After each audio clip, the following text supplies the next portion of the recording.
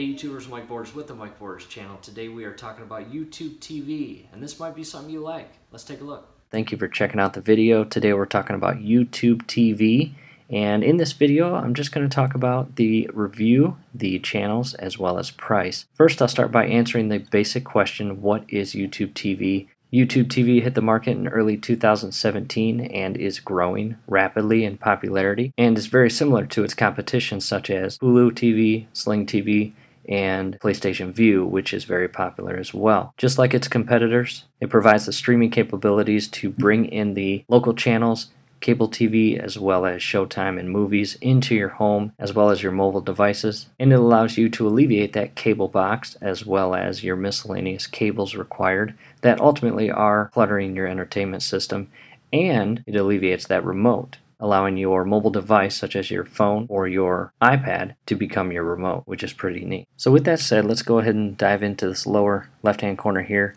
Live TV from 40 plus networks, local sports and news, no cable box required as I just mentioned, and try it for free. Early in 2017 when YouTube first was hitting the market, they allowed you to do a 30-day free trial.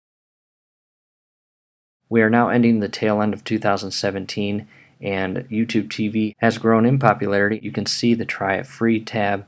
You will click on that and one thing I want to point out, I went right to the source, youtube.com. $35 per month you can cancel at any time. And that is becoming more regular in regards to all of the competitors in the streaming option. In the event that a new streaming provider or company was to announce that they are hitting the market, and they announced that in order for you to become a member with them, you would have to sign a year contract or a two year contract. Most people would steer away from that. So, again, that is not a popular feature in today's streaming TV. Scrolling down, I want to show you the actual channels that are available. For $35 a month, you get quite a lot. However, you will notice that YouTube TV does not provide, while their competitors such as PlayStation Vue does. A couple examples are Discovery Channel, History Channel, and a few other newscast programs. So by looking at all the channels here available, take a couple minutes and see if the channels that you watch on a regular basis are part of this package because in the event that it is, this might be a very nice package for you at $35 a month, which is pretty affordable. Scrolling down, there are additional networks that you can add for additional fees, such as Showtime, $11 per month,